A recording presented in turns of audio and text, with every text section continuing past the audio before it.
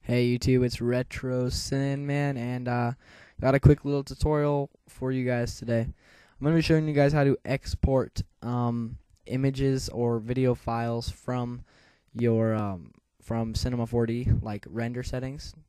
So uh, if you open up Cinema 4D, uh, I have a basic image here.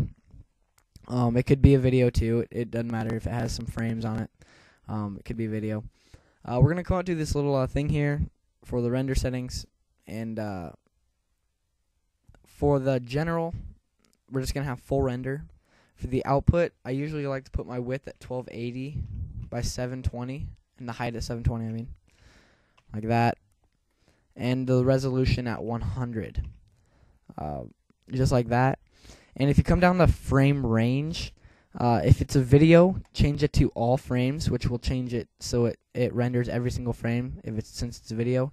But if it's just a image, change it to current frame, and that will just save the um, image that you have on there. And go to the save option, make sure it's checked, and uh, make sure save is checked like that. And then for the file, we're going to come over here um, to this little dot dot dot button. Click that, and uh, you'll get another save window like this. Save it wherever you want. I'll just save mine to my desktop for now. And then for the file name, change it to whatever you want. I'll just put test and then hit save. And for the format, change it. Make sure you guys change it to PNG. If it's an image, if it's a video or like an intro or whatever, change it to AVI movie or QuickTime movie um, for video um, files. But if it's just a still image, change it to PNG. Uh, make sure you check alpha channel too if it is a PNG or just a still image. That will make it so if you want to put it in Photoshop or something, it'll have a uh, transparent background.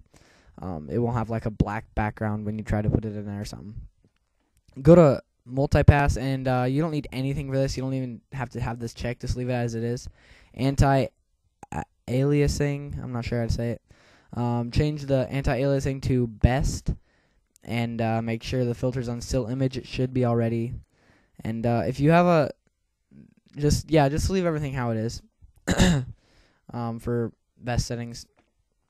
And then uh, if you want to have more of a deep shadow in your um in your image, like if you really want the shadows to pop out, you can go to effect ambient occlusion, change the maximum ray length up to 300 and uh, that will give it some really deep shadows, make it look a lot more 3D, and then you can exit out of that window. And uh, here's a preview of what it will look like um, I'm going to let this render real fast. I'll pause the video for it to get done, and I'll show you guys the final image.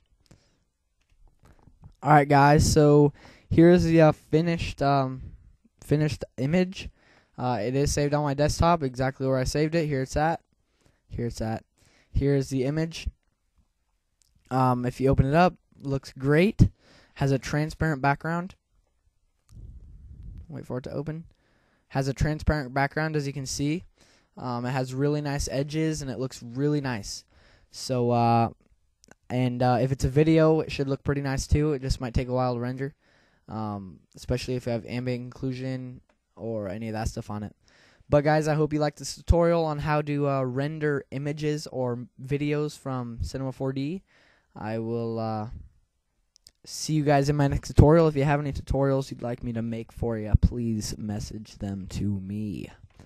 Thanks for watching this one by Retro Sandman, and I will uh, see you guys in my next uh, video. Uh, peace out.